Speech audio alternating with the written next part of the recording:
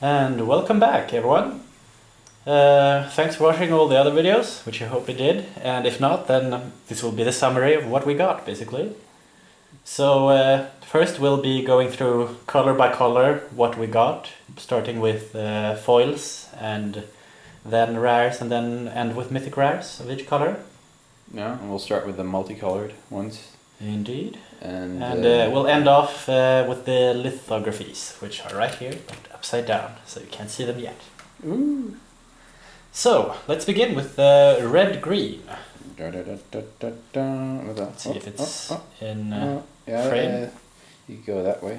Uh, a little bit backwards. Backwards. Da-da, sådär. Och sen så... Sådär. Okay then. So, here we go. Uh, this is the first common uh, foil, Zhur-Taa Swine. Yeah. It's actually pretty decent considering what it does, but not that great. I mean, it's a common, but yeah, it's a 5 4 for 5. and it's got a blood rush with five four to attacking creature with three. So Mm, yeah, it's like a semi expensive instant built into a sem- pretty exp- uh, semi expensive creature. So, yeah, yeah. so it's a common. Foil. Can't argue with that. This one I do love. It's basically a free card because it's a costs two mana. You get two mana while playing it. It's a two two, Yeah. and it's foil. So And you can That's nice. choose either green or red, which is awesome. So even if you don't have red mana, you will still get red mana. So it could technically save your save your hide if you don't have any red mana. that too. Now we got a Gruul Charm. I really like all the charms. Let's see, not Yeah. this one though. Uh, this was pretty decent though, the Gruul one. Creature without flying can't block this turn, or gain control of all permanents you own, or Gruul Charm deals 3 damage to each creature with flying. So, a bit more situational than some of the others, but could be good. Yeah, if you're in that situation though, it could be really good. Then we happen to go get 3 Gruul Ragebeasts, Da-da! which makes creatures, when you play them, they will fight another creature in opponent's control. So hopefully you have strong creatures in your deck and play this one. That's mainly why you, why you would keep it. However, it's uh, very late game, so I'm not sure if you'd see that much action action with it, anyways. but Uh, it could be pretty nice actually. If you kind of foul it out early somehow, be- then uh, it could be really annoying. Yeah. Then Rubblehulk, which we happen to get two of. Mm. Its power and toughness are equal to the number of lands you control, and uh, it's got a blood rush effect. Which is basically why it's a really nice, uh, not really, but it's a nice card since you could have three of those and have nine lands, and uh, uh, yeah, things would get So go end down. game, this card would be awesome. Mainly because of the blood rush. Hmm. Then Rubblebelt Raiders, a really awesome solid card. We got four of those, and it gets a plus one counter for each attacking creature you control. I mean, yeah, h- how can you not love that ability? including itself. Including itself, and it starts as So a three it, so it is a four four basically if you attack with it uh, the, the following round. Yeah. Unless it's got haste then. Same round. And then, oh god. we have like eight of those. Uh,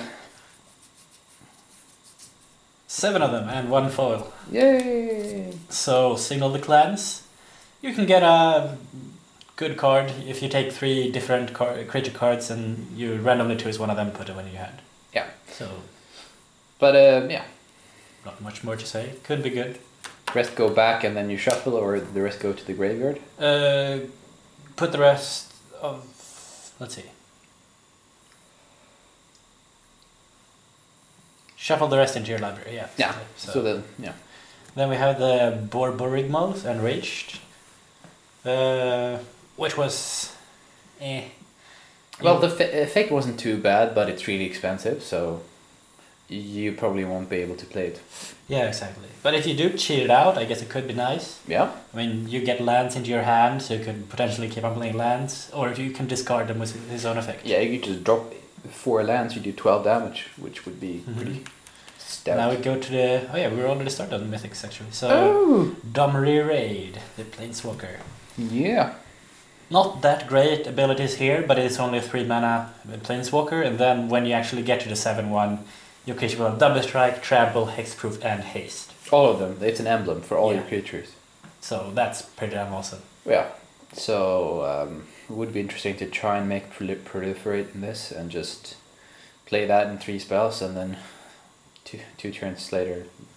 I don't know. No, well, the one turn later, I guess, if you have proliferate. So yeah, it could be pretty sweet. then we head over to the red and white cards.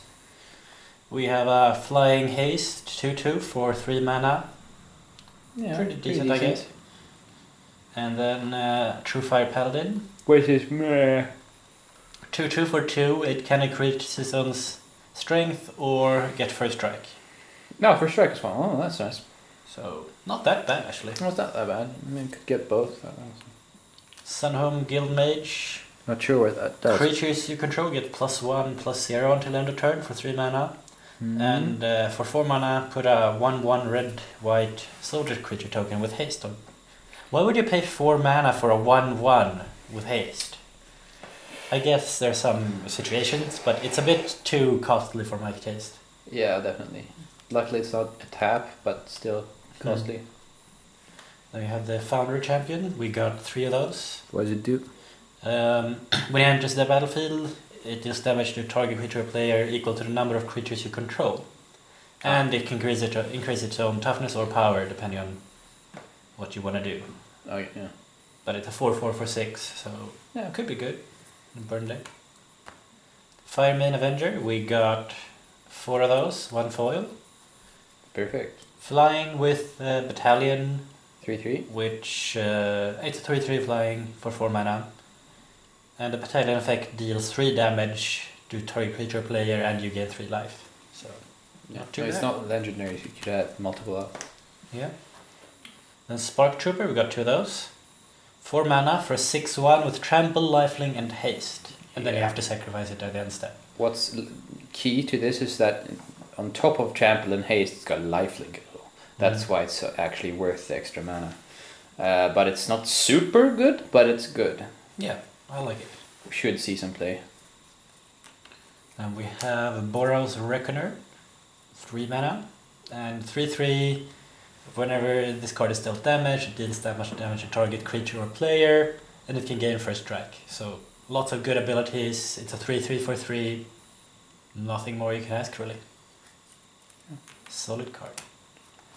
And then Assemble of Leg- Legion, Yeah. a really sweet card actually. The quicker you get it out, the more tokens you'll get. Yeah. So you keep on getting one counter, and that's how many tokens you will get. So first turn you get one counter, you get one guy. Second turn you get two, uh, another counter, which means you have two, and then you get two guys. And Etc. so on and so on. So have several of these, and you'll be unstoppable at turn ten or something. Oh God, I don't even want count. So to the mythics, Aurelia, the Warleader. Oh, nice. We got one of that, and you'll have or untap all the creatures you have and have an extra attack phase. That is awesome. And it's got flying, vigilance, and haste for three, four, and it's got only cost six mana. So really sweet. Hmm. Aurelia's Fury, got two of those. This X damage divided as you choose among any number of target creatures and or players. Tap each creature dealt damage this way. Players dealt damage this way can't cast non-creature spells this turn. So Yeah, what, what I'd like love to see is someone use this and then attack with uh, Aurelia, the Warleader, because they have all their creatures tapped and you get two attack phases. Whoop! yeah, that's gotta be sweet. So that's why it's Aurelia's Fury. And then let's head over to the green-blue cards. This is a decent card. It's a 3 1 with tramp- trample and flying for Yeah. 3.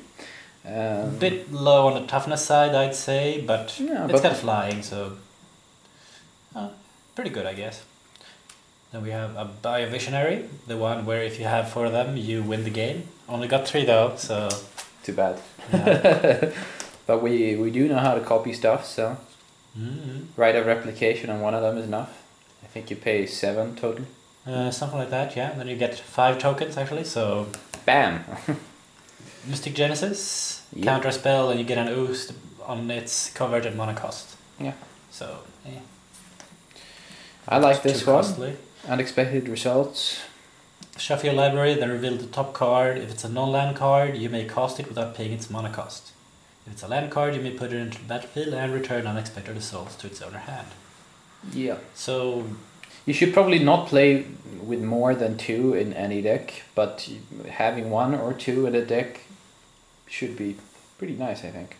especially if you have a high cost mana card. obviously. Exactly, I mean, you don't want to play yeah. it if you have uh, like three mana cost max. Yeah, you don't want to play this in like a in elf aggro or something. You want to play this in like an elf ramp with heavy hitters or like an Eldrazi, something like that. And then we have biomass mutation. Could see some play in uh, token decks where since all your creatures become XX until the end of turn. Yeah, But uh, probably there are there are probably better cards. That, anyways, uh, if Mm. you want to kill someone fast. but could see some play, I Yeah. guess. Then Fathom Mage. It's got evolve, and whenever a plus one plus one counter is placed on it, you may draw a card. Yeah. So that's pretty powerful since it's only one one. You'll get to draw plenty of cards. Remember that card that gives all the cards that enter the battlefield two extra counters. That is true. That's true. Ta-da. And uh, Prime Speaker Zegana, we have entered the Mythics. Yeah. She enters the battlefield with X plus one counters, where X is the greatest power among creatures you control. And uh, when it enters the battlefield, draw cards equal to its power. So, kind of like the previous card, but it's only when it enters the battlefield. Yeah. Got two of those. It's kind of like a replenish spell for you. Master Biomancer. Each other creature you control enters the battlefield with a number of additional plus one plus one counters on it equal to Biomancer's power and as a mutant in addition to its other types. So that's the one he was talking wi- about with the Fathom, Fathom Mage. So it will actually enter with two plus one counters, hence you will get to draw two cards. Yep. So pretty sweet. So heading on to the blue and black cards.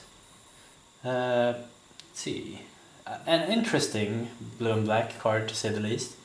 You draw a card, then you exile a card from your hand face down as a tap ability. You may look at cards exiled with this card, and uh, for two mana and tapping this card, you can return an exiled card with this card uh, to its owner's hand. So if someone's discarding your card y- that you really want, you could potentially use this and you'll draw another card and he'll have you discard that. Then you can take it back in the future, but Yeah, so cards exiled are put in the out of game zone and not in the completely out of the fucking game zone completely. yes. and that's unhinged for you in case you don't get that resonant, uh, reference. So let's see. Uh, Mortus Strider. When it dies, you can return it to your own to its owner's hand. Um, one one for three. It's I- a bit expensive, but it could be annoying if you if you just want to stall people with some sort of block creature that you Mm. could slap some sort of whale glide bone so your creatures are flying. And Still a bit too expensive for my taste. and I gotta take a quick break. Well, we'll just keep going. Deathcult Rogue, it can't be blocked except by rogues, and considering how often you actually face rogues, it's practically un- unblockable for two, three men actually. 2 2, so it's pretty nice, but it. Uh, I don't know, it, it could use having one less mana, but an unblockable, it's pretty good. And then we come to my favorite, Consuming Aberration. I got three of those, one being uh, foil. Its power and toughness are each equal to the number of cards in your opponent's graveyards. So, if you're facing several opponents, all of their graveyards combined is its power and toughness. And then, whenever you cast a spell, each opponent reveals cards from the top of his or her library until he or she reveals a land card. Then puts those cards into his or her graveyard. That's for every opponent. So it'll definitely get a lot stronger every time you cast a spell. So that's one sick bastard for 5 mana. And then we have Nightveil Specter, got three of those. It's got flying, and whenever it deals combat damage to a player, that player exiles the top card of his or her library. You may play cards exiled with Nightveil Specter. Play lands from that player, and then you can start playing his uh, cards as well in the future. Could be pretty sweet. For 3 mana, 2 3 flying. Then we have Soul Ransom, got 3 of those as well. You can enchant a creature, you control enchanted creature. And then an opponent may activate this ability, which is discard two cards. Soul Ransom's controller sacrifices it, then draws two cards. So either you keep the creature, or an opponent discards two of his cards, and you get to draw two cards. So could be pretty nice. Then you have Mind Grind, three of those as well. Each opponent reveals cards from the top of his or her library until he or she reveals X land cards, then puts all cards revealed this way into his or her graveyard. X can't be zero. Seems like blue and black are going for some sort of a mill thing, so plenty of mill cards it seems. Really nice. Uh, Whispering Madness, got three of those as well actually. Uh, two mana and blue and black. Each player discards his or her hand, then draws cards equal to the greatest number of cards a player discarded this way. You can cipher it onto a creature, meaning when it deals combat damage, you get to cast this spell again for free. And uh, yeah, that, that's pretty damn good for milling, as we said before. So they're definitely going for a mill theme. Then we go to the mythics. Lazav, Dimir Mastermind, it's got hexproof, and whenever a creature is put into an opponent's graveyard from anywhere, you may have Lazav Dimir Mastermind become a copy of that card. Except its name is still Lazav Dimir Mastermind, and it's legendary in addition to its other types, and it gains hexproof and this ability. So you get to change your power and toughness, and you get to change the activated ability into whatever creature card an opponent lands into a graveyard. So, uh, and then you'll also get to keep on doing that in case a better creature pops up. So, pretty sweet card for four mana, two blue, two black, and it's got hexproof, so that's also nice. Lots of good blue black cards actually. Duskmantle Seer, Flying, at the beginning of your, your keep, each player reveals the top card of his or her library, loses life equal to that card's converted mana cost, then puts it into his or her hand. Hmm. Not really a part of the milling theme they're going for. It seems to be some sort of burning theme, but I'm not sure. It costs a lot of mana of itself, so you probably not quite sure what you want to do with this, but there are probably people out there who knows what to do with it. And then we get to my favorite guild, the Orzhov Guild, white and black. Uh, this one's an uncommon extort, and it's a foil, so that's pretty nice. Uh, 5 mana, 1-3 with extort, and when it enters the battlefield, you can play any mana until life. Target opponent reveals that many cards from his or her hand. You choose one of them and exile it. So, yeah, pretty sweet, I guess. Then uh, Vizkopa Guildmage. 2 mana for 2-2. You can pay 3 mana to gain give a target creature lifelink. And then there's the better one, where whenever you gain life this turn, each opponent loses that much life. They could work together, of course, but considering it's got black and white, it's probably got plenty of extort, so whenever you gain life, your opponent will lose life. So that's pretty sweet. High Priest of Penance, I got four of those.